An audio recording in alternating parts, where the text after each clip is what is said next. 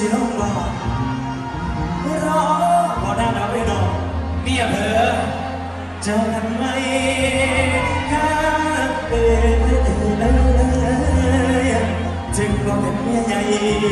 thì ta hay kia đồ bên mía ai mẹ đang cầm tôm mía đó có ngã ấm à khó xíu